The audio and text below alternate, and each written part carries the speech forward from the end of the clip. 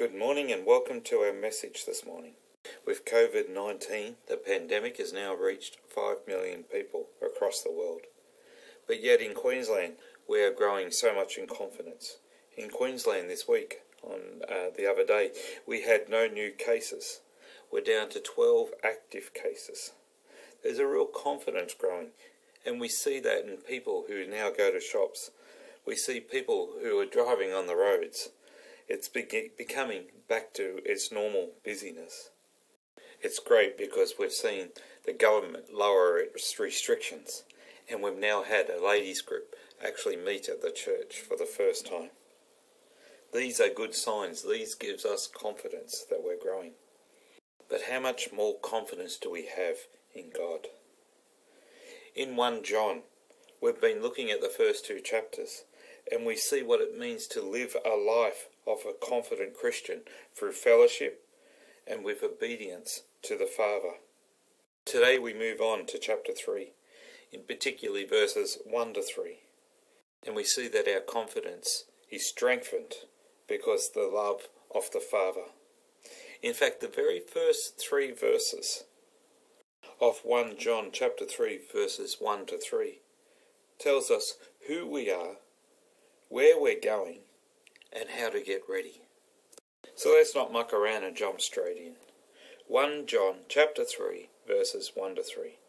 See what kind of love the Father has given to us that we should be called children of God, and so we are. The reason why the world does not know us is that it did not know him. Beloved, we are God's children now, and what we will be has not yet appeared, but we know that when he appears, we shall be like him, because we shall see him as he is. And everyone who thus hopes in him purifies himself as he is pure. Let us pray. Lord, we just pray that you bless us this morning. Allow us to understand your word, not just in our minds, Lord, but in our hearts, and that it may flow through our lives. Lord, I pray that we get a deeper understanding of who we are in you and how you want us to live. And so, Lord, I pray that you bless each one of us this morning. In your name, amen. See what kind of love the Father has given to us, that we should be called children of God. That's our identity. One of the biggest issues in the 21st century is a loss of identity. People are so confused, they don't know who they are, they don't even know what they are. People are confused with their gender, if they're male or female or something else or something in between. People are confused in so many different areas, and it's related to their identity. And God tells us our identity. He tells us it's found in Him, and we are His children. This is a real privilege, by the way. Understand not everyone is called a child of God. In John 8 43 to 44, it says, Why do you not understand what I say? It is because you cannot bear to hear my word. You are of your father, the devil, and your will is to do your father's desires. So we live in a world where we think it's not black and white, but lots of greys. We live in a world where we get confused between God's will and our sinful nature. But for God, He's pure. There is no grey. It's either black or white. You are either for Him or you're against Him. A child of God or a child of the devil. That's why I'm so glad that we also read in Galatians 3 25 and 26. But now that faith has come, we are no longer under a guardian. For in Christ Jesus you are all sons of God through faith. Let's start from the beginning in verse 1. See what kind of love the Father has given to us. See, it doesn't start with our identity, it actually starts for how we were created. That is out of God's love. It's interesting. Some children are born out of love. In other words, the parents love one another. And when they have that child, they love that child. Some children, though, are not born out of love. Maybe there was some bad circumstances. Maybe there was a rape situation. But that child gets treated differently in most cases, or feels different in most cases. The fact is, when you are created out of love, something that you take with you through life, and in many ways gives you confidence in life to know that you are loved. And how much are you loved? Well, in Romans 5 8 it says, But God shows his love for us in that while we were still sinners, Christ died for us. He was willing to die for us, even when we did not have a relationship with him. He loved us before we loved him. That is how much he loves us, that he would die for us. Not only does he love us, he calls us his children. We should be called children of God. I'm not an orphan, so I have no idea what it would really be like. But I do know some people who have grown up from an orphanage, and they are torn and they are damaged because they don't know why their parents didn't want them. But when those people find out that God loves them and that God calls them a child of His, there is something special in that. Probably something that we will never understand unless you're an orphan itself. But we do understand what it's like to have the love of a parent. And that we are, and our identity is, found also in that parent when we are so young.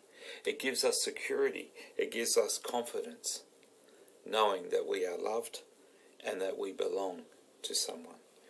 See, that sense of belonging is so important. We find it with people who even uh, want, need to join gangs, they need to join a team, they need to identify with a group of people. It gives us confidence, it gives us strength, it gives us a knowledge and understanding that we are that we belong. And so it is important for us to understand that we are God's children and that we belong to him. But the moment that we are identified as a child of God, that puts us in tension with the world. That puts us in tension with the devil. We read that we are either for God or we're against God. We are for Jesus or we're for the devil. The same is in the world. In fact, in verse 1 it says, The reasons why the world does not know us is that it did not know him. So this tension in the world can come of two ways. Firstly, it may not recognize us as a child of God. I think of Jesus when he was born, and about six weeks after Jesus was born, he was taken to the temple. Now, the fact is, the temple is a very busy place. There are all the religious leaders there. There are people from all over the city. And each one of them, in their own heart and mind, says, I am waiting for the Messiah.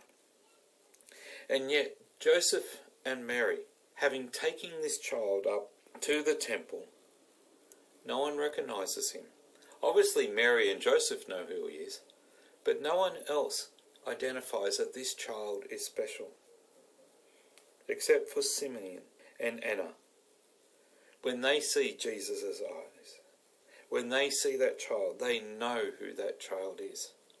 But the rest of the world does not. The second part of the world being against us is that it actually rejects us. The world system, the world itself rejected Jesus Christ. Even when Jesus was put on trial in front of his own people, the people cried out, Crucify him! Crucify him! Crucify him! And then yell out, Give us Barnabas. We don't want Jesus, we want Barnabas. That's how much the world rejected him by hanging him on the cross. We live in a world where the people would prefer to worship TV or movie stars who bare their bodies for all to see. For drug using sport heroes and have posters on their wall, and they will worship those people more than Jesus. We live in a world that rejects Jesus and therefore rejects us. But at the same time, we know that we are loved by our Father. We are His children, and we belong to Him, and our identity is found in Him. Now, in verse 2, we read about the promise that we have from our Father. It basically tells us where we're going. 1 John chapter 3 verse 2 Beloved, we are God's children now, and what we will be has not yet appeared, but we know that when he appears, we shall be like him, because we shall see him as he is. We read this also in Colossians chapter 3 verse 4. When Christ who is your life appears, then you will also appear with him in glory. This is a promise that we actually have that when Christ appears, we get to be with him. We get to become more like him when he appears. This is a promise that we have. In 1 Thessalonians 4:16 it says, "For the Lord himself will descend from heaven with a cry of command, with the voice of an archangel, and with the sound of the trumpet of God, and the dead in Christ will rise first." Do you know there's over 300 references in the New Testament for Christ's return? This is the confidence that we have. We have confidence that Christ will return because he loves us. I mean, if Christ was willing to die on the cross for us, how much more can we have confidence in knowing that he will come and return for us, to come and to collect us? So Christ has promised us that he will appear. And Christ also promised us that we will become like him. In the second part of verse 2, we shall be like him because we shall see him as he is. In Romans 8:29 it says, "For those whom he foreknew, he also predestined to be conformed to the image of his son, in order that he might be the firstborn among many brothers." How wonderful it is to know that Christ is going to return and we get to spend eternity with Him. Where we will have a new body with no pain, no blindness, no sickness, no pandemics. We'll live in a world where we are blessed by the very relationship of Christ. I should note it says that we will become like Him, but it does not say that we will become gods. I say that probably as a bit of a rabbit uh, for those who know what that means. There are teachings out there. For example, Mormons actually believe that when you die, and if you lived a life good enough, that you become a god. But we see it now also in some more evangelical teaching under the some of the Pentecostal movement, under this idea that we become little gods. They want to say that when we grow, when we get to heaven, we'll become little gods. I don't want to go into this right now, so I want to shoot this rabbit, but to understand that we become like God does not necessarily mean we become gods, and that false teaching we have to put to bed straight away. So, Jesus' promise, God's promise to us, is that He shall return, shall become like Him. We get to live with Him, to be alive without death or destruction, where there's no more pandemics, there's no economic crisis, there's no more pain and suffering. So, if that is our destiny, now we have to get ready. What do we have to do to prepare ourselves for His return? We read in 1 John 3, verse 3 And everyone who thus hopes in Him purifies himself as He is pure. So, firstly, it's based on hope.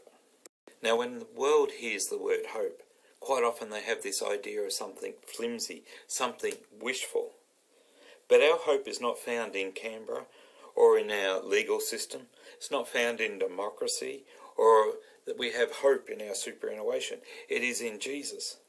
In fact, as the song goes, my hope is built on nothing less than Jesus' blood and righteousness. So the world doesn't quite understand what hope is until you actually understand what hope is in Christ. A Methodist minister from Sri Lanka told the Faith and Order Commission of the WCC meeting in Ghana in 1974 that he had invited some Hindu friends to tea and asked them to give an account of the hope that they have. It turned out that not only they had great difficulty in understanding what he was driving at, but also that the Tamil language has no word for what Christians mean by hope. See, the hope that we're talking about is different from the hope within the world, and the world doesn't understand it. The world sees hope as, again, wishful thinking, something that's possible. But the hope, unless you're born up in a Christian home with a Christian understanding, the hope that we're talking about is hope with security. In other words, it's guaranteed. It hasn't yet arrived, but we are 100% sure, we have complete confidence that this is going to happen. The fact is, there's nothing comparable to the biblical concept of hope that we can see within the religions of the East, or we can even see within this world. Luke 21, verses 27 and 28 says, And then they will see the Son of Man coming in a cloud with power and great glory. Now these things begin to take place. Straighten up and raise your hands because your redemption drawing near. So when we talk about getting ready, and it's based on hope, in other words, it's excitement. We're looking forward to it. We know it's going to happen, and we're ready to get ready for it. So we're excited about this return. So now we get ready by purifying ourselves. Now understand that the blood of Jesus cleanses us and sanctifies us. But there's also the matter of daily sanctification, about maintaining purity in the face of temptation. Example of this may be that every week I clean my home. I vacuum the floors, I get the house nice and clean. But even if someone comes over through the week, and if you've been to my place, you know that there's still an odd dish that I had to put away, or there is still a little thing that needs to be cleaned. As every part of our life, we need to constantly clean and to purify. And that's what it is in our lives with regards to sin. James sums this up pretty good for us in James 1 21 to 25. But be doers of the word, and not hearers only, deceiving yourselves.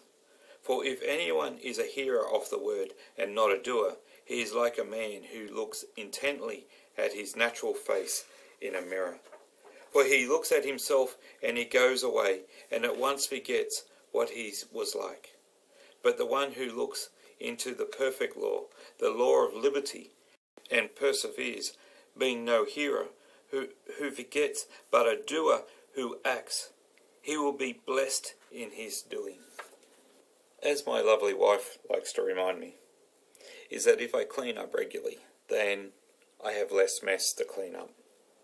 And this is what it's like uh, of us as Christians. If we think that we are saved and we don't have to do anything anymore, and that we just become hearers of the word, then the rubbish within our lives builds up, and our lives become so cluttered with the rubbish within it. But if we take the time daily to purify ourselves, to clean our lives, or to clean our home, so to speak, then what we actually find is life becomes less cluttered. Our life becomes more pure. Our life becomes more clean. So don't just leave it piling up and then have one big clean out. But to keep our lives clean all the time. To walk in the life of Christ on a daily basis. So, what I'm asking of you is that in the morning, when you get up, understand that your position in life, that you are loved by God and that you are a child of God. Say that with me. I am loved by God and I am a child of God. Also understand that He is promised to come, that He wants us to be like Him. And because He is coming, we need to prepare ourselves. So start our lives by cleaning out all the rubbish within our hearts and in our minds. And we will be blessed by God. Let me pray for everyone. Lord, I just thank you for these words. I thank you for these encouragement. Lord, it's through this that we can have confidence in you. Lord, you loved us before we even loved you. And so, Lord, I just pray that we're able to respond out of that love to actually honour you. Allow our lives to be worthy, to show glory of you. And even though the world does not know us, Lord, may the world actually start to see that there is something different in us. And so that they may actually ask the question, what is different in our lives? And we can say, you. So, Lord, I just pray that you bless each one of us today. In Jesus' name, amen.